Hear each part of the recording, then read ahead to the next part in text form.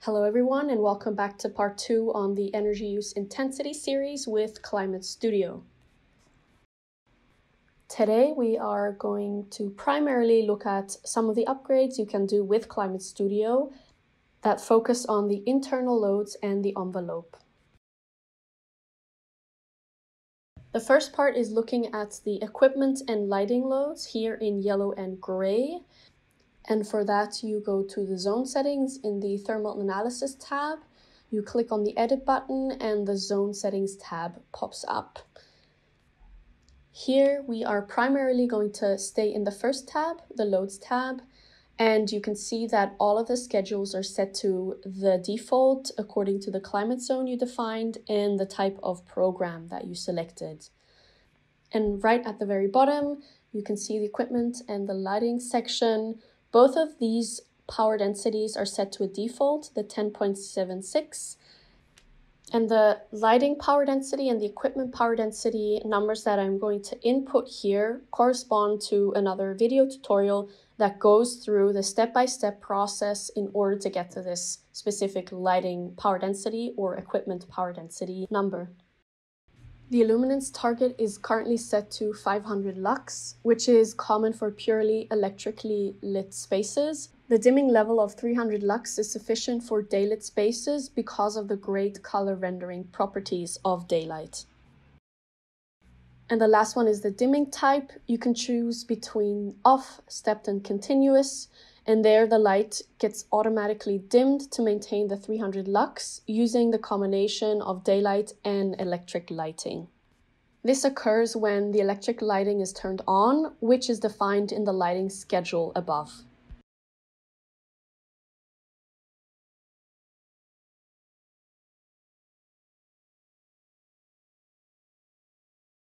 When you're finished with this, you can click OK, close the tab and run the simulation, and hopefully this will reduce the EUI overall.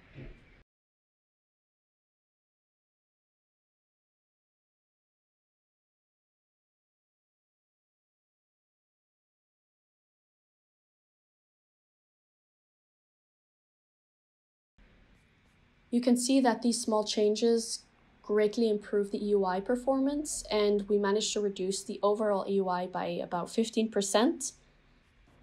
The next step is looking at the heating and cooling loads. You can see the bars in red and blue are still extremely high. So by adapting some of the current settings in the envelope, hopefully we can reduce these heating and cooling loads and therefore also the overall energy use intensity. For the second part, you want to go back into the zone settings to the third tab called envelope, and there you can see the current construction buildup of your project. The construction buildup is divided into multiple parts. For this exercise, I'm going to select the facade tab and show you a step-by-step -step process in how you can change the current buildup to a better performing one and this process is repeated for all of the other construction sections that you see here in the envelope tab. First, you click on the facade tab and you can see the current template that is selected for this facade with a U value that can be reduced. So the lower the U value, the better performing this buildup will be. To do this, you duplicate the current buildup and it will redirect you to a new tab and there you have the option to change the thickness, but also the kind of material itself. And I'm going to choose a better performing insulation that has a lower thermal conductivity than the current one.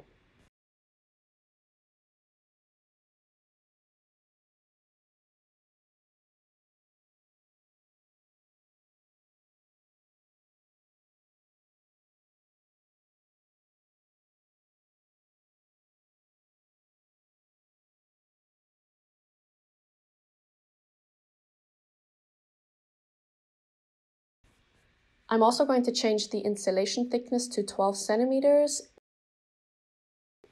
This brings down the U value to 0.223 watt over square meters Kelvin, which is a great improvement to the original U value. By clicking OK, you can see your new facade build up in the envelope tab. And now you can repeat this process for all of the other construction sections in the envelope tab.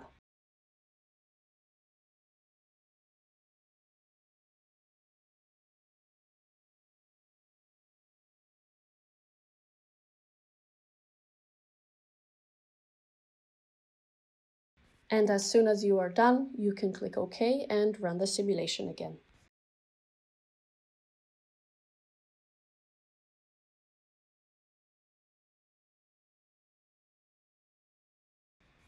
So by updating the envelope, you can see that there's a new EUI and this is 20% less approximately compared to the baseline, which was set to 242 kilowatt hours per square meter.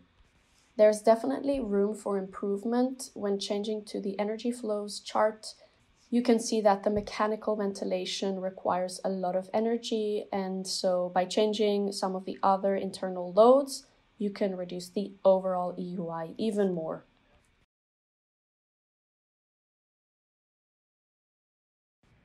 That was it for part two. I will see you back in part three, where we aim to compare some of the results with one of the Climate Studio features.